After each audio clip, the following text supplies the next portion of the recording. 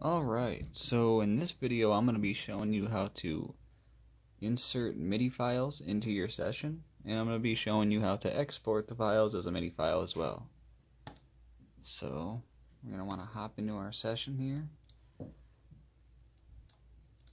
and we're going to want to go to our synth that we want to do MIDI on or put a MIDI file on. For me, I'm just going to pick this and drag it and drop it here. Exit out of this. So, what you're going to want to do is you're going to want to highlight wherever you want the MIDI file to be. Then you want to double click on your session here. Now you'll get a empty blank bar that pops up.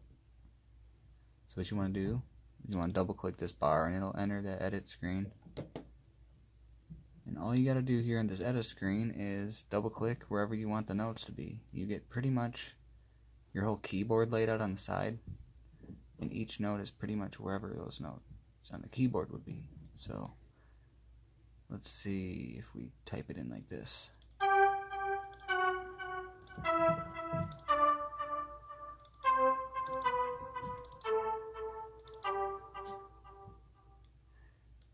So duplicate that and see how it comes out like this.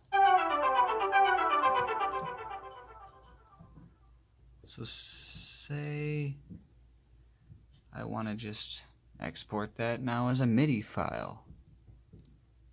That way I can move it around after importing into another session. All you have to do, I'm thinking it's originally here. Yeah, you would have to go to event to find it, but if you use it, it should be here. So you just go to export selection.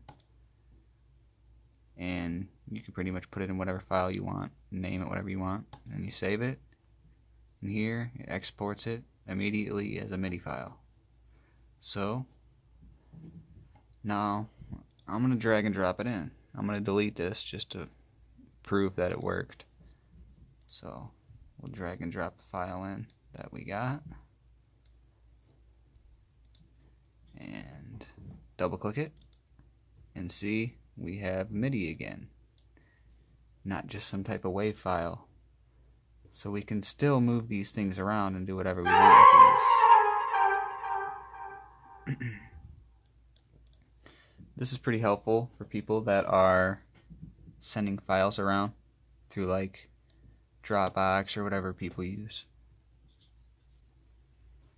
Now if you would wanna maybe export it as like a wave or an MP3. You could just go to like MP or like Mixdown or Stems, and obviously highlight right up here, highlight where you'd want it to be mixed down through, and then here you get an option. MP3 and all these other things, wave MP3, whatever. Here you pick what file, you name it, it's okay. Then say I want to send it to the same area, so export it as a I don't know if that was an MP3 or WAV. I can't remember. Whatever. I'll drop it in there. And see, it's not MIDI this time. But that's because we didn't export it like this. So that's all you have to do for a MIDI file is hit export.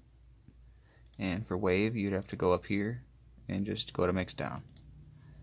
And that is pretty much it. I hope this video helped you out, and if it did, don't forget to leave a like and subscribe. Thanks for watching.